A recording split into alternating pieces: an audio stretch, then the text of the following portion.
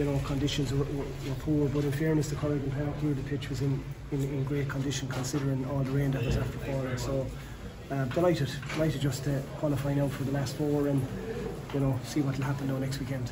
And it's Clare who's heading in the league semi-final next weekend. Venue and all that yet to be decided, but it's another extra game, which is probably very important considering the, the, the bye in the, in the Munster Championship first round. So good to get as many games as possible, I'm sure. Yeah, yeah, absolutely. To get as many uh, good competitive games, Clare are absolutely hopping in the league at the moment, uh, and they obviously have their eye on the first round of the championship as well. So that'll be a good encounter. It'll give us all a really good feel again for where we're at in our in our uh, uh, preparation.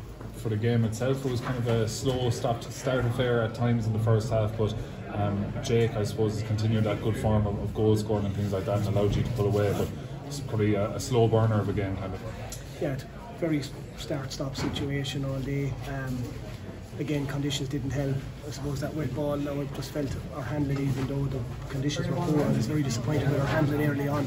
A lot of ball, a lot of ball not sticking to hand, and you know, ball that we thought we'd have primary possession of pop, seemed to pop out and, and, and develop into a, uh, a rock situation a lot. So that was a little bit disappointing, but small little bit flat again. But you know, we travelled up early this morning and not making excuses, but you know, it was a, it has been a long day um, from half seven, eight o'clock this morning.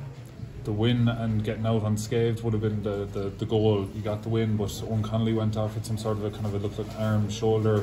He was talking to himself when he was walking off. What seems to be the kind of issue with him there?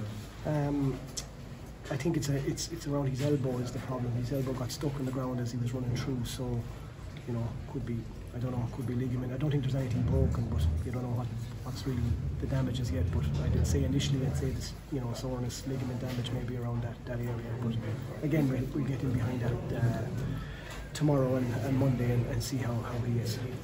Any other players could make back for next week? And obviously, Cahill is sort of doing a bit on his own. Or did he have a setback in the last few weeks?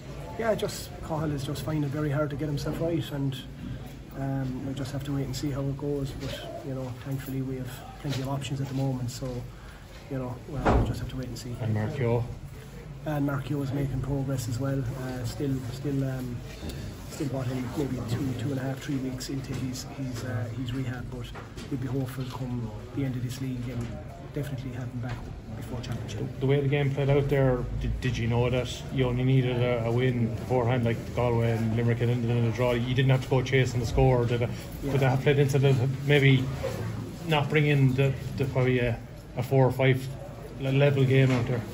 Yeah, I don't know. It's, it's again, we came up to win the match. That was the Yeah. primary objective. Um, we, we didn't know.